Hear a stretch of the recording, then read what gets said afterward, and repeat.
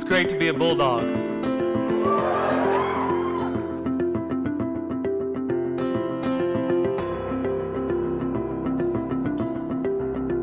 He is a visionary leader. He is a man of integrity. Dub has a unique way of investing in people. Has open ears and very willing to listen to the faculty's needs and desires. After every Board of Trustee meeting, he has an all-campus, all-employee meeting where he debriefs us. The profile of ETBU has risen. Dr. Oliver has encouraged strategic investments to make that happen. Very committed to faculty development, um, increased the funds that are available for faculty development. I watch him really listening to what the faculty issues are. We always get the sense that he's walking alongside of us and not just in his office making decisions without us in mind.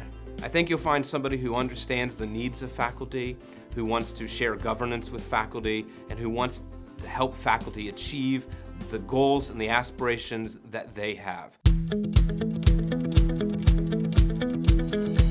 Genuine. Dr. Dub is humble, impactful. The one word I think best describes him is personable. Intelligent. Dr. Dub is warm. Relational.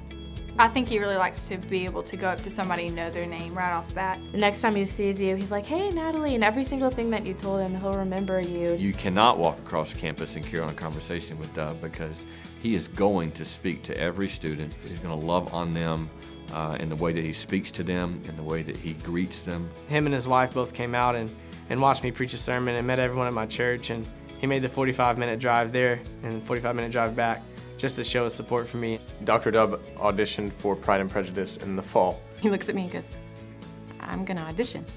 And I thought he was joking. And uh, it was just cool to see that our president was involved. I looked at him and I said, okay, I need to know that I can direct you, that I can say that a moment isn't working or that this needs to change and that's gonna be okay. And he was like, absolutely, I totally, I want you to do your job and I want you to do it well. We had our cast party at the president's house. So it was really cool to be able to experience and get to see, you know, who the president is on a personal level. When you talked about Dr. Dub, you have to talk about Miss Susie too, because they they are a great team together. She's very caring. She's like uh, the mom of all the students who don't have moms nearby. I always just walk in her office. Um, I mean, we we talk all the time. She is always a go-getter, always by Dub's side, and has been wonderful helping me in children's ministry.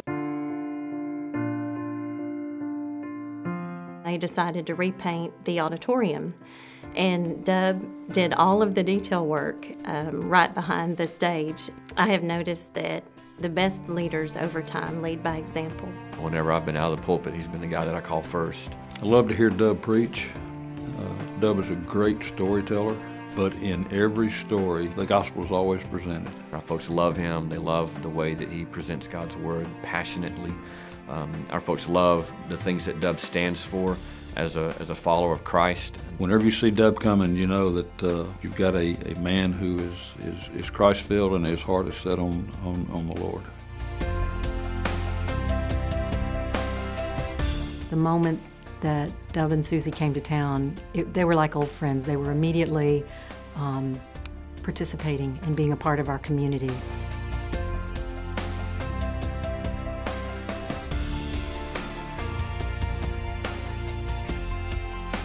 I'd never heard of a man of his stature uh, volunteering for such a hard job. Dub and Susie Oliver are not concentrating on building resumes. No, they roll up their sleeves, uh, they immerse themselves in the work within the community.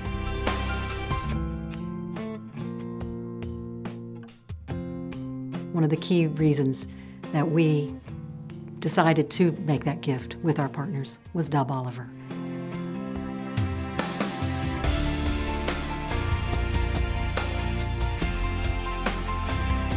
Things that he's been able to accomplish in a short while uh, shows me that he knows how to raise money and those kinds of things. If you were on this campus four years ago, it did not look like this. That man does a lot. I think he's got a twin. if there's such a thing as a rising star in presidentships, it would be Dub Oliver. They will be uh, They'll be a great, great couple and, and great assets to, uh, to Union and, and, and to the city of Jackson. Wherever he goes, he'll be a blessing. Y'all are just really lucky to have both Susie and Dr. Dub. I, I would follow him if I could. They're beloved here, and we wish them the best in their new home in Jackson, Tennessee.